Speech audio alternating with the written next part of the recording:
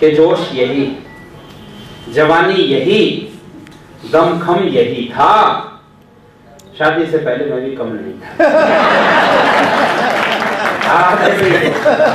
मैं आशु जी को देख रहा था और पड़ोस में बैठे सर आपका नाम क्या है?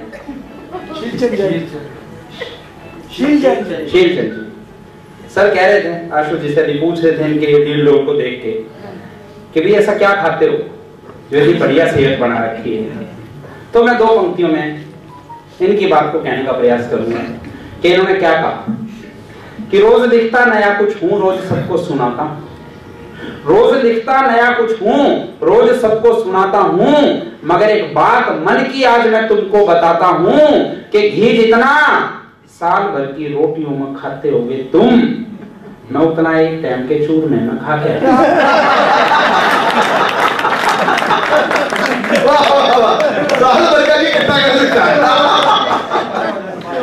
हालात ही ऐसे दिख हैं। थोड़ी सी बात मैं फेसबुक की करूँगा, क्योंकि आज के समय में ना फेसबुक का बहुत बुरा हाल हो गया है। और ये बात मैं करना चाहता हूँ, क्योंकि आज हम 24 घंटे फ़ोन पे ही रहते हैं। सुबह उठ को धरती को चूमने की वजह सीधा फ़ोन को चूमते हैं। और ऐसे खुश हो जाते हैं जैसे दुकान खोल कर पूजा कर ली और ऑन करके अगर दो चार कमेंट्स आ गए तो होगी बीस तीस हज़ार की बिक्री। हालात ऐसे हैं आने वाले समय में माँ बाप अपने बच्चों को यू कहा करेंगे कि तेरी परवरिश के लिए दस दस घंटे रहे हैं। तू रहे हैं? अगर हमने आँख लड़ा ली होती ना तो बेटा कहीं और ही पैदा होता। ये हालात हो रखे वो एक भाई प्रेमी ने अपनी प्रेमिका के लिए फेसबुक पर कमेंट डाल दिया कि, काश तू मौत होती तो एक दिन मेरे पास ज़रूर आती। प्रेमिका भी पूरी पढ़ रही थी। बोली, अगर मैं मौत होती तो तेरे तेरे पास क्या? मैं तो सारे गाँव के पास जाती। ये हालात होता। मैं आपको बिल्कुल सच्ची बात बताऊँगा। आप लोग ये देखते हो कि फेसबुक पर आजकल बच्चा पैदा हुआ फेसबुक पे। कोई मर गया फेसबुक पे। सच्ची बात बताऊँगा। वो एक भाई ने समझते तो हैं कि क्या करने हैं। एक भाई ने अपने बेटे की ताजी ताजी फ़ोटो फेसबुक पर डाल दी और लिख दिया कि ईश्वर की कृपा और आप सबके आशीर्वाद से आखिर भी बाप बन ही गया और आशा करता हूँ कि भविष्य में भी आप लोगों का सहयोग यूँ ही मिलता रहे। अब लाइक तो आए, सो आए। कमेंट में एक भाई ने लिख दिया कि जब ज़रूरत पड़े भाई को याद करना भाई और भाभी की खुशी से बढ़कर हमारे लिए कुछ नहीं। वो भाई का दादा मर गया। मरे हुए दादा की फेसबुक पर फ़ोटो डालते लिख दिया, दादा की ज़िंदगी की आखिरी स्माइल आगे 500 लाइक और कमेंट में लिखा है, शानदार, जानदार, जिंदाबाद। दादा को बहुत बहुत बधाई। ये हालात हो रखे हैं सब। वो माँ बाप ने तपस्या करी, बहुत तपस्या करी। हे भगवान एक छोरा दे दे। हे भगवान, एक छोरा दे दे। भगवान ने सोची, हरियाणा के बंदे को छोरा दे ही छोरा दे दिया और वही छोरा फेसबुक पे सोनम गुप्ता बनकर बैठे। हालात ऐसे हो रखे हैं। फेसबुक को आधार कार्ड से लिंक कर देना। तो जाके पता लगे कि जितने, जिसको हम इतने दिनों से सपना चौधरी समझ रहे थे, वो तो भूरे लाल है। पूरे विश्व में 300 करोड़ महिलाएँ हैं और फेसबुक पर 500 करोड़। ये लड़कों ने लड़कियों की फेक आईडी बनाई है इसको मैंने दो लाइनें लिखी थी, आप लोगों को सुनाता हूँ कि रूप की रसीली थी वो, छोरी रंगीली थी वो। फ़ोटो देख फेसबुक की मन ललचाया था। रूप की रसीली थी वो, छोरी रंगीली थी वो, फ़ोटो देख फेसबुक की मन ललचाया था, और सियाणा मैं भी बना घना फेक आईडी बना, और फ़ोटो मैंने किसी और भाई का लगाया और दोस्ती तब बात हुई, पहली मुलाकात हुई, मिलने वो आई, मैं भी पार्क में बुलाया था, और खड़े मुस्कावे दोनों, नजरे चुरावे दोनों, जीजा मैं था, उससे का वो साड़ा मिला ये रखे हैं। घर की बात घर में। आजकल की बहुएँ फ़ोन में लिखते हैं। तो सास क्या कहती है कि, हे भगवान, यो फ़ोन कैसे बीज बो गया? हे भगवान, यो फ़ोन कैसे बीज बो गया? भाजियो बेटा, देखियो, बहू के की हो गया?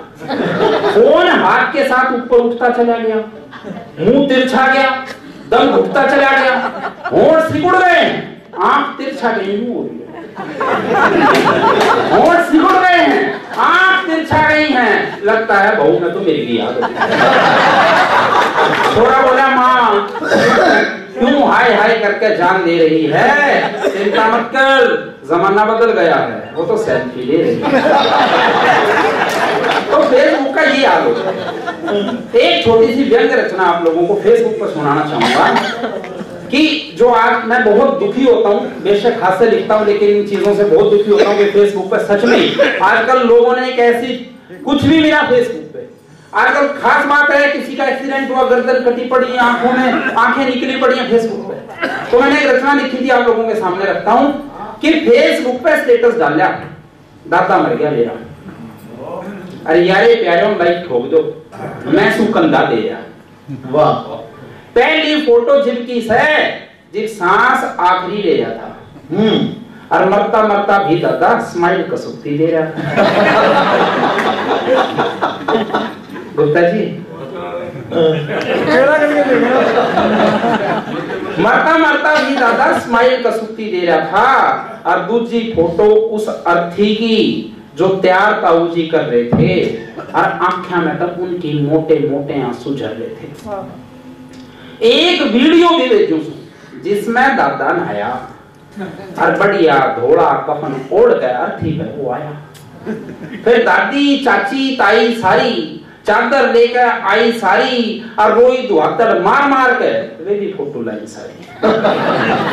तीन सौ, चार सौ लोग गाँव के, उनके ग्रुप में फ़ोटो चार और चोरा एक कान दिया बदले फ़ोटो उनके भी तैयार और पूरी चिता का एक वीडियो भी अपलोड करया से 500 लाइक बहत्तर कमेंट्स ते इनबॉक्स भरया से।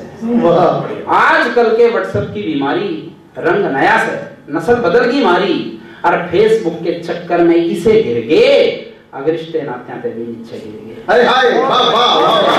क्या कहने वाह। वाह तो एक अंतिम रचना आप लोगों को सुना के अपना स्थान लूँगा। उससे पहले भाई शुभम ने बहुत बढ़िया महाराजा अग्रसेन पर बहुत गहरी बात की। तो मेरी ये कविता में उसका सिर्फ़ एक बल महाराजा अग्रसेन पे सुनाना चाहूँगा कि बरस हज़ारों बाद भी तमने करता सकल समाज नमन। हे अग्र पुरुष हे अग्रदूत हे अग्रसेन महाराज नमन। बहुत अच्छा। हे अग्र पुरुष हे अग्रदूत हे अग्रसेन महाराज नमन। जिनके राज में कदे कितना कोई दुखी लाचार दिखा। और शेर भेड़िए के बच्चों का कट्ठा खिलता प्यार दिखा। हर घर में खुशियाँ चहके थी? मैं क्या गुलशन सारा था?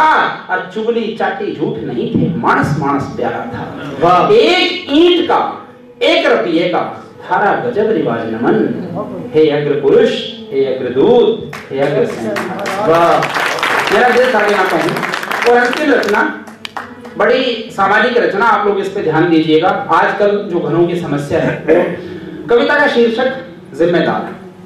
कि आदमी चाहिए था घर की रखवाली खातर? दिमाग हो तेज, नज़रें हो कातर। सब्ज़ी बनाता हो बढ़िया, रोटी भी पोता हो और 24 घंटे में तो छह घंटे सोता हो।